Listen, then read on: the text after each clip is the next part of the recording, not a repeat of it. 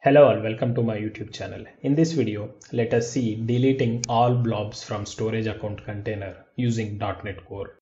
Here I am in my storage account. If you don't know how to create a storage account, you can refer to the i symbol that is there at the top of this video. Here I have a container named demo container and inside that I have five files. We have to take the connection string of the storage account, go to access keys, show keys, and here we have two connection strings. I'm taking the first one. We can access the storage account in multiple ways using connection strings is one of the ways. Here i have created a console application. We have to add a NuGet package azure.storage.blobs in my project there is already that package. Let us declare a variable over here. Static string connection string is equal to let us paste the connection string and here declaring one more variable for container name. Container name is equal to demo container. Now here I'm creating blob container client.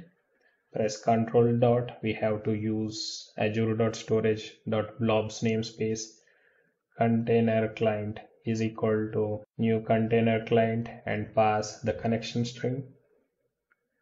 Now let us get all blobs inside this container. Container client dot get blobs. Now we can iterate over each of these blobs and delete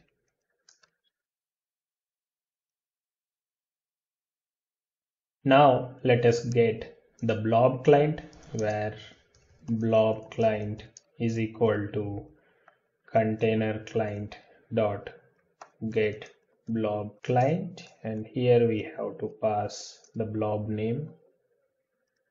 And now here blob client dot blob client dot delete and let us print a message. Write line blob dot name is deleted.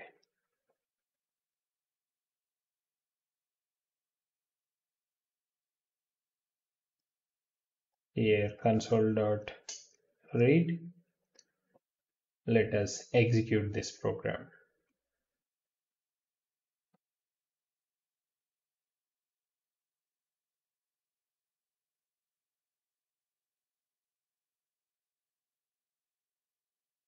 So it deleted all the files inside the container. Let us verify this.